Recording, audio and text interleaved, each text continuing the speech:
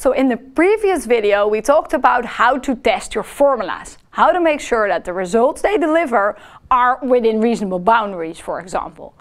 But there's another way we can test. What's also very important in spreadsheet testing is validating user input. If you look at this spreadsheet, this selling price right here, it's an input value. A user puts in that input and he could make a mistake.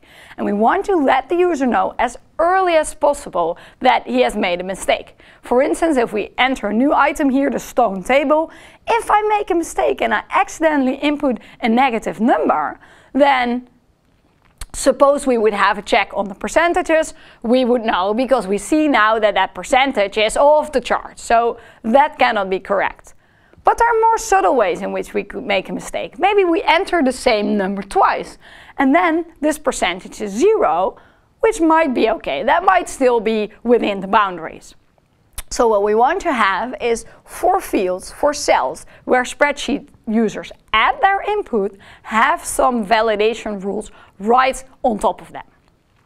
Here's another example of validating user input. If we look at this register import, we, we see all the codes of the items that we have been selling.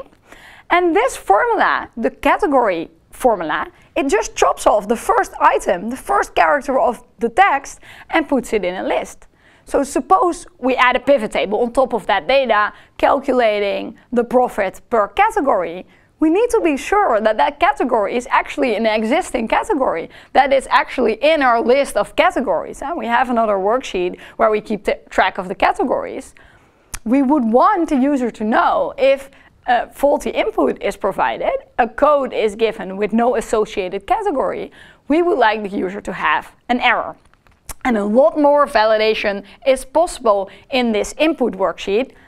I'm not going to tell you how because this is one of this week's exercises. So you can start thinking about it right now. How would you validate the user input in this spreadsheet? What's important about tests is, you remember from the previous video, that spreadsheets only one in three have a manual. And you might think, what does documentation have to do with testing. Those are two entirely different topics. That's really not true. Tests can serve as a means of documentation. If you put a test in your spreadsheet, the test tells a user of the spreadsheet something about it. If I look at this formula here, so I have added a formula that checks whether a given item has an existing category. And if it don't, here you have a code that starts with an X. If there's no associated category, you get an error.